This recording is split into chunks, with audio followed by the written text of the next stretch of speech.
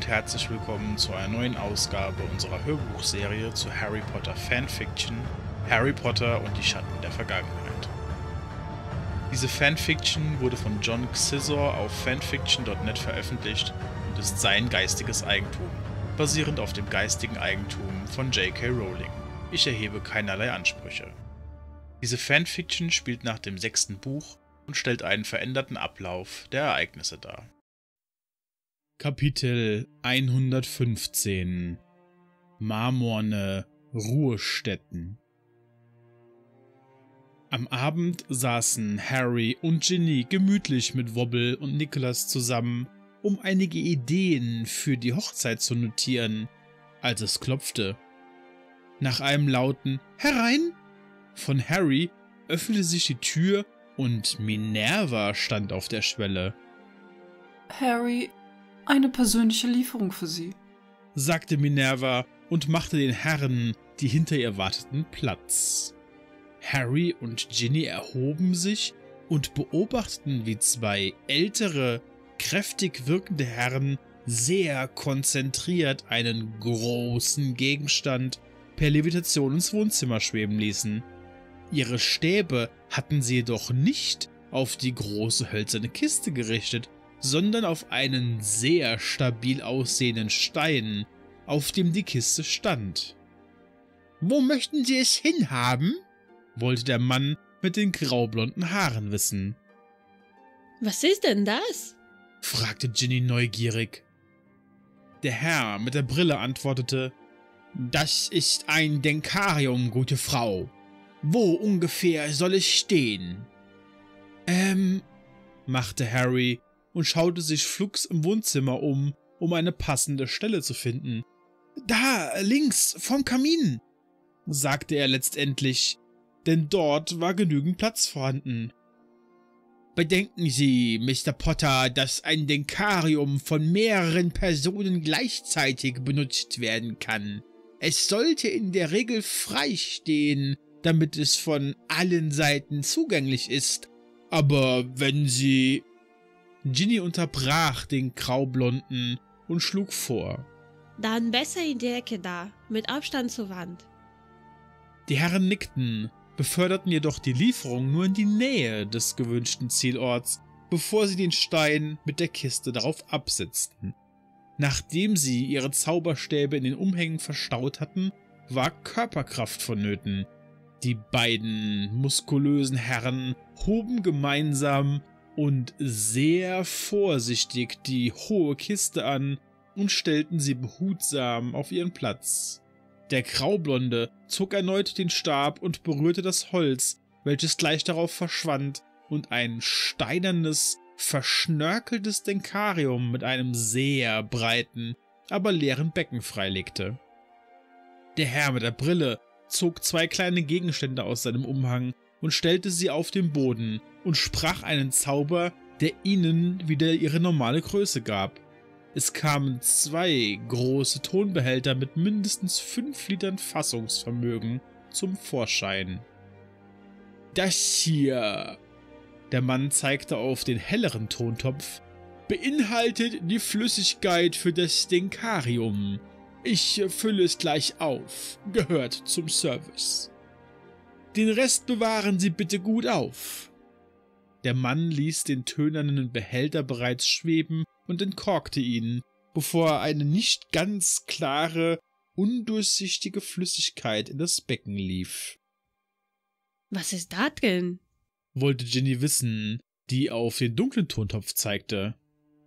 Der Graublonde griff in eine Innentasche seines Umhangs und zog eine Pergamentrolle heraus, die er entrollte und Harry gab, während er sagte, zum Denkarium gehören auch ausgewählte Erinnerungen des Vorbesitzers, die Ihnen nun überlassen werden. Wenn Sie bitte hier, der Mann tippte unten rechts auf das Pergament, unterschreiben würden, dass Sie die Lieferung erhalten haben. Verdattert fragte Harry. Ausgewählte Erinnerungen des Vorbesitzers? Ist das so üblich?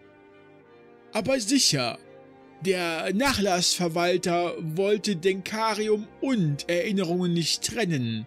Was Sie mit ihnen machen werden, ist äh, Ihnen überlassen, Mr. Potter. Etwas drängelnd fügte er hinzu, äh, die Unterschrift bitte, wir haben jetzt bald Feierabend. Harry unterschrieb die Empfangsbestätigung und gleich darauf wurden die beiden Herren von Minerva wieder nach draußen begleitet. Ron hat zwar erzählt, dass man mir das Denkarium überlassen möchte, aber auch noch die Erinnerungen? Ich meine, wollen die Verwandten es nicht selbst haben? fragte Harry ungläubig, während er sich dem sehr antik aussehenden Steinbecken näherte. Ginny folgte ihm und erklärte. Was sollen die mit den Erinnerungen anfangen, wenn sie kein Becken haben? Ja, schon, aber Erinnerungen sind doch so persönlich.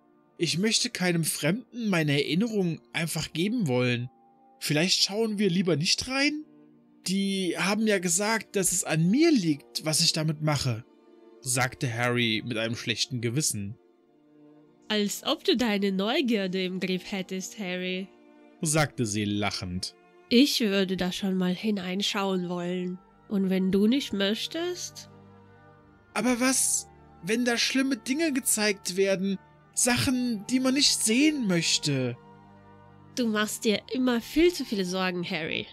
Ich werde mir mal eine ansehen. Und zwar jetzt gleich, sagte Jenny, die bereits den großen, dunklen Tonkrug öffnete. Ein silberner Schein drang aus der Öffnung hinaus, und es wirkte, als hätte jemand eine Lichtquelle in dem Krug untergebracht. Völlig sorglos führte Ginny ihren Zauberstab in die Öffnung und zog ihn gleich wieder vorsichtig hinaus.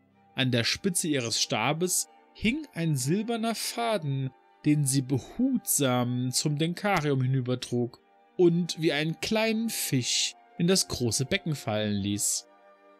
Bevor Ginny in die Erinnerung eintauchen konnte, sagte Harry aufgeregt. Warte, ich komme mit. An Wobble gerichtet, der den kleinen Jungen im Arm hielt, sagte er, wenn irgendwas passiert. Harry, was soll passieren? Es kann uns nichts passieren, versicherte ihm Ginny, die seine Hand nahm und ihren eigenen Kopf bereits über das Becken führte, bis ihre Nasenspitze die flüssige Oberfläche berührte. Harry machte es ihr gleich. Ein Stock tiefer schlug Hermine vor. Nehmen wir den Hund mit. Und Fellini könnte auch mal wieder raus. Severus musste schmunzeln, bevor er sagte. Wir tarnen die heimliche Graböffnung als Spaziergang mit den lieben Vierbeinern? Nö, sagte Hermine unschuldig. Wir verbinden das kleine Abenteuer einfach mit dem Nützlichen. Ich müsste sowieso noch einmal mit Harry raus, also kann ich ihn auch gleich mitnehmen. Mit dem Hund an der Leine und in einem warmen Umhang gehüllt, wartete Severus darauf, bis Hermine den Kniesel geholt hatte, der gleich, nachdem die Tür zu ihren Räumen geöffnet worden war, hinausgerannt kam und auf den Hund zustürmte. Harry wedelte freudig erregt mit seinem Schwanz und beschnupperte seinen schwarzen Freund. So, kann losgehen, sagte Hermine enthusiastisch. Auf dem Weg durch die Gänge trafen sie auf einige Schüler, die den Kniesel streichelten und ihn niedlich nannten.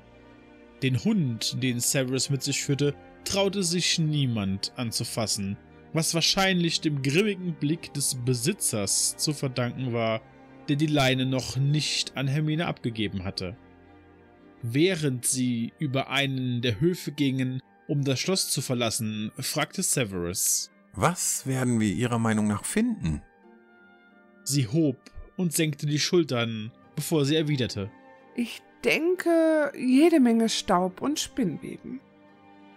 Eine Gänsehaut lief ihr den Rücken hinunter, als sie an das krabbelnde Viehzeug dachte, welches vor dem Einzug in ihre Räume dort gewohnt hatte. Was denken Sie?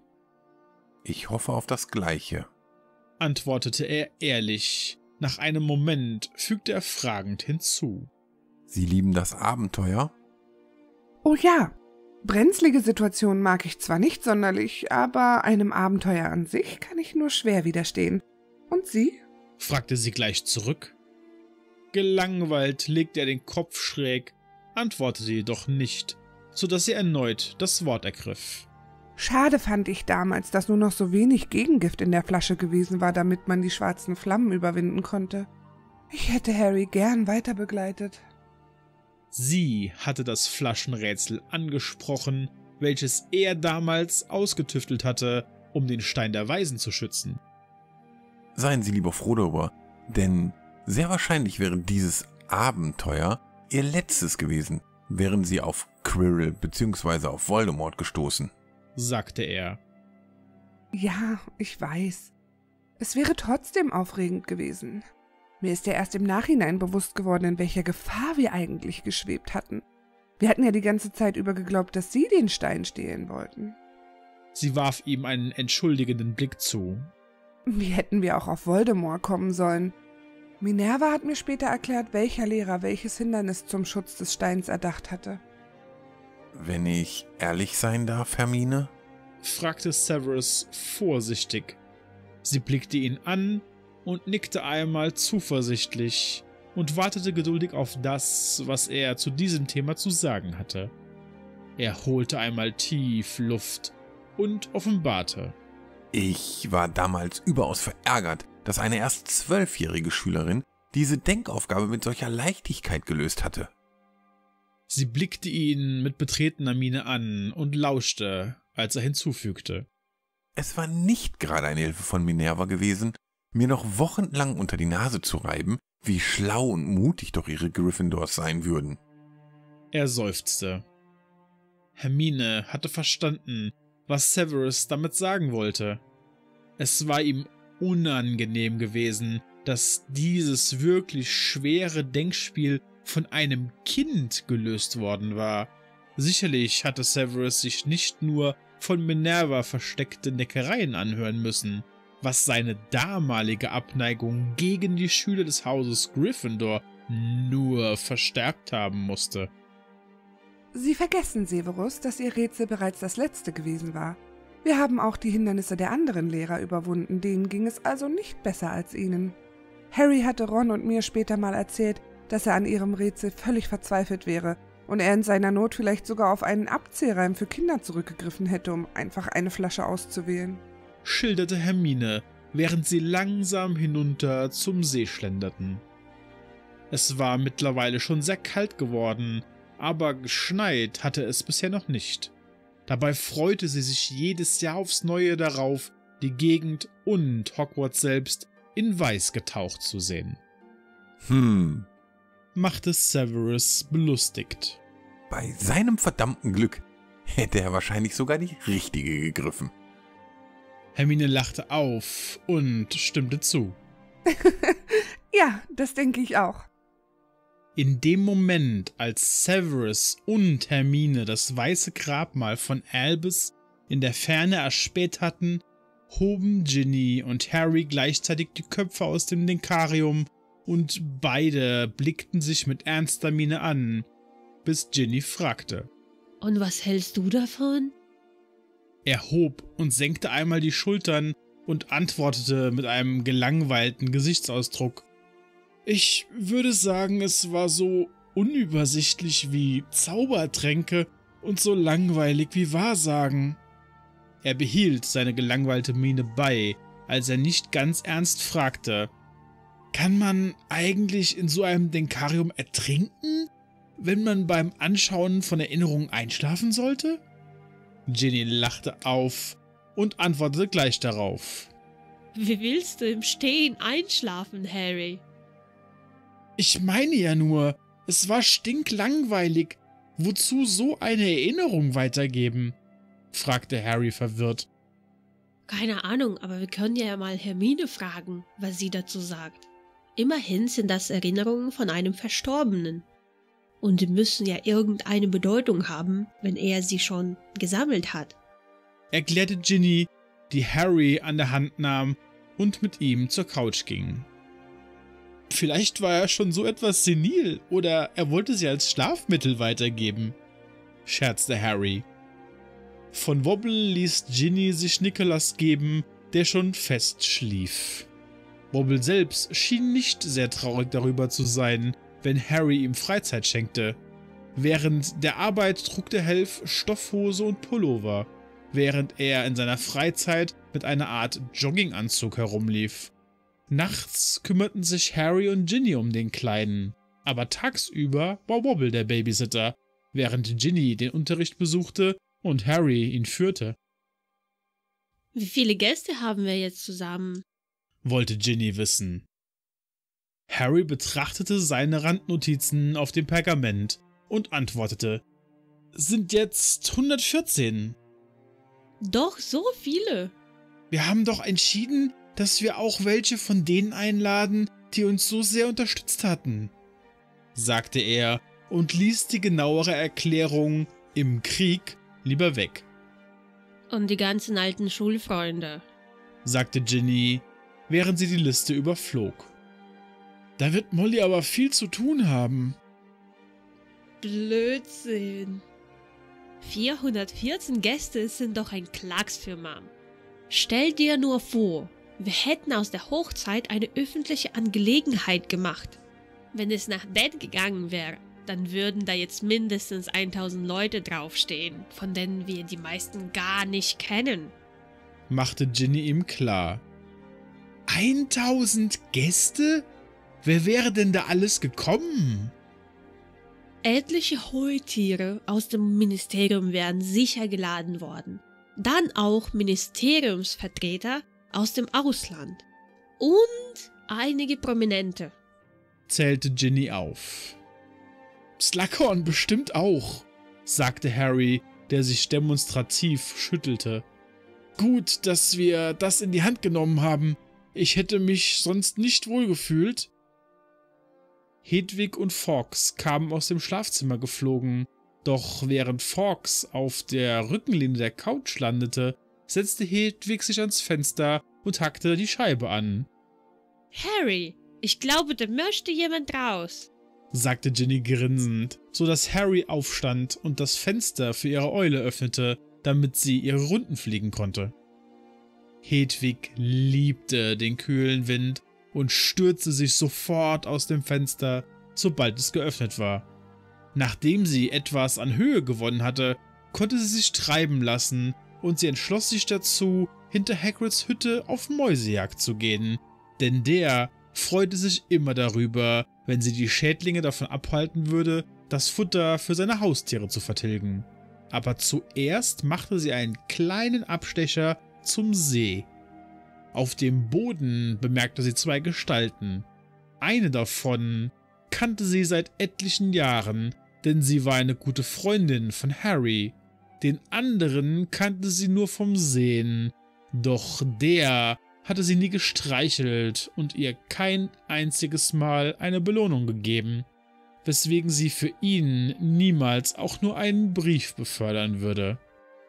Es fehlte Hedwig, dass Harry ihr kaum noch Briefe gab, und wenn, dann waren die Flugstrecken ihrer Meinung nach viel zu kurz. Während Hedwig unbemerkt ihre Runden über den Menschen drehte, hörte sie in deren Nähe eine kleine Maus durchs Gras flitzen.